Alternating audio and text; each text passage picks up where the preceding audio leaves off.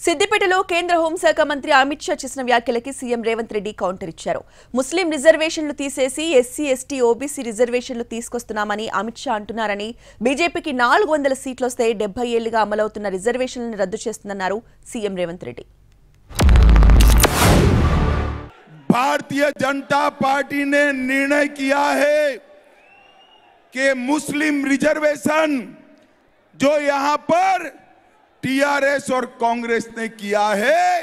हम उसको समाप्त कर कर एससी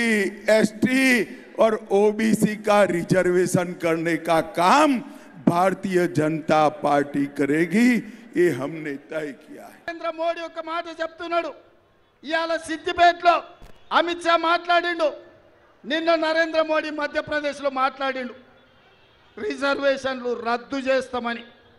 ఎందుకు బీజేపీ వాళ్ళు నాలుగు వందల సీట్లు కావాలంటున్నారు? నాలుగు వందల సీట్లు వస్తే పార్లమెంట్లో రెండింతల మెజారిటీ వస్తే కాంగ్రెస్ పార్టీ ఇచ్చిన ఎస్సీ ఎస్టీ రిజర్వేషన్లు ఓబీసీ మైనార్టీ రిజర్వేషన్లను ఇవాళ రిజర్వేషన్లను రద్దు చేయాలన్న ఆలోచనతోటి ఈరోజు బీజేపీ కుట్ర చేస్తున్నది. ఈ ఎన్నికలు కేంద్రంలో ప్రభుత్వం ఏర్పాటు చేయడానికి కాదు ఈ ఎన్నికలు డెబ్బై సంవత్సరాలు అమలు చేసిన రిజర్వేషన్లను రద్దు చేయాలని భారతీయ జనతా పార్టీ కంకణం కట్టుకొని ఈరోజు ఆ ప్రయత్నం చేస్తుంది.